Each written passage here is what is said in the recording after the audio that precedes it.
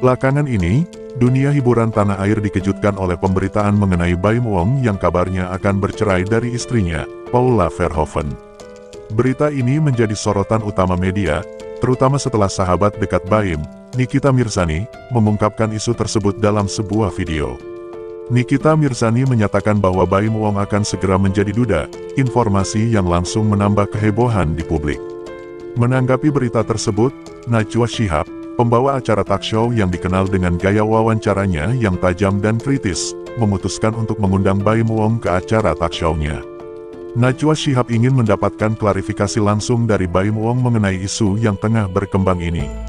Dalam program tersebut, Najwa Shihab memulai sesi wawancara dengan pertanyaan-pertanyaan yang sangat mendalam, berusaha menggali lebih dalam mengenai kehidupan pribadi dan permasalahan yang dihadapi oleh Baim Wong. Najwa Shihab, yang terkenal dengan ketajaman dan ketelitian dalam bertanya, tidak memberikan ruang bagi Baim Wong untuk menghindar atau mengalihkan topik. Setiap pertanyaan yang diajukan mengarah pada kisah hidup dan konflik yang tengah dihadapi oleh Baim Wong.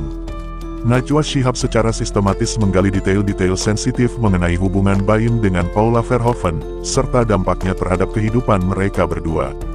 Di tengah wawancara, Baim Wong tampak kesulitan untuk menghindari berbagai pertanyaan tajam dari Najwa Shihab. Dengan terpaksa, Baim Wong akhirnya membuka semua permasalahan yang dihadapinya secara mendetail. Ia menceritakan latar belakang dan dinamika hubungan dengan Paula Verhoeven, serta faktor-faktor yang memicu permasalahan yang mengarah pada kemungkinan perceraian. Saat Najwa Shihab mendengarkan penjelasan Baim Wong, ia terlihat sangat terpengaruh oleh cerita tersebut. Sebagai seorang wanita yang mungkin dapat merasakan dan memahami rasa sakit hati yang dialami Paula Verhoeven, Najwa Shihab tidak bisa menahan emosinya. Air mata mulai mengalir di wajah Najwa Shihab saat ia mendengarkan cerita tersebut, menandakan betapa dalamnya empati yang ia rasakan terhadap situasi yang dihadapi oleh Paula Verhoeven. Dalam keadaan emosi yang memuncak, Najwa Shihab tampaknya kehilangan kendali. Ia meluapkan kemarahan dan kekecewaannya dengan memaki-maki Baim Wong di depan publik. Reaksi ini mengejutkan penonton dan mengundang berbagai tanggapan dari masyarakat. Najwa Shihab, yang selama ini dikenal dengan sikap profesional dan ketajaman analisisnya, tampaknya terbawa perasaan dan meluapkan emosinya secara langsung.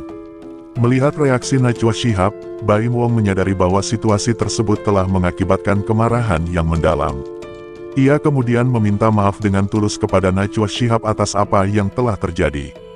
Permintaan maaf ini menunjukkan kesadaran Baim Wong akan dampak emosional dari situasi tersebut dan upayanya untuk mengatasi ketegangan yang muncul.